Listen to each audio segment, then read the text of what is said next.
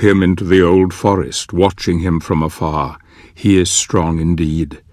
The one God comes to drive out the many, but here, in this place, God's influence is thin and threadbare.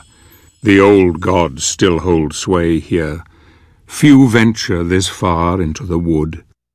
He is disturbed by dreams, dreams that gnaw at his very soul.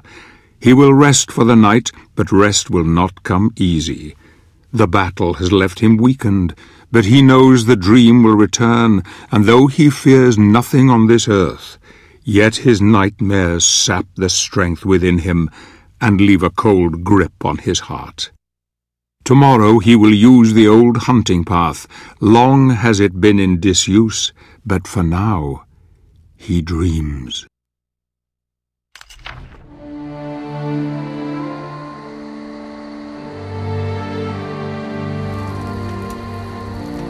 What motivates a man to confront the challenges that most of us would run from?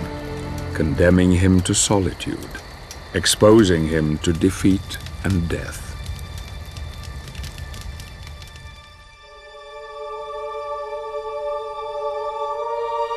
The answer is love, a force so powerful that all reason becomes blind to it, blind to all things, even the truth.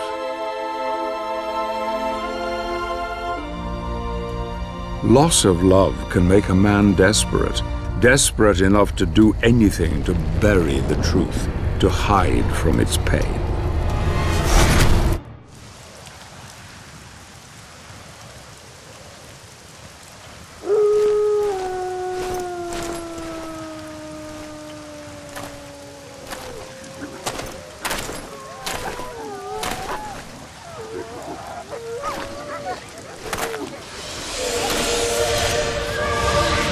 Hear you seek the Guardian of the Lake. I will take you to him, but we must be quick. Climb onto my back. Hurry!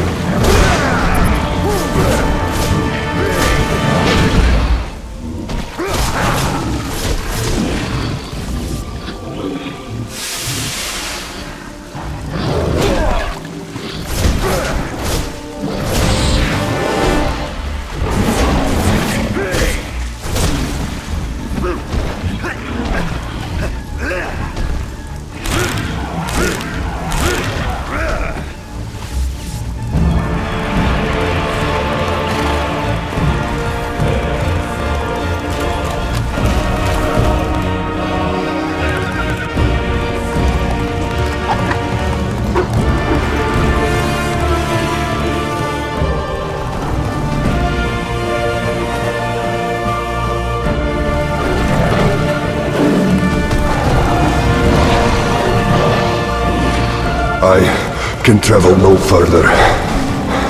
You will find what you seek ahead.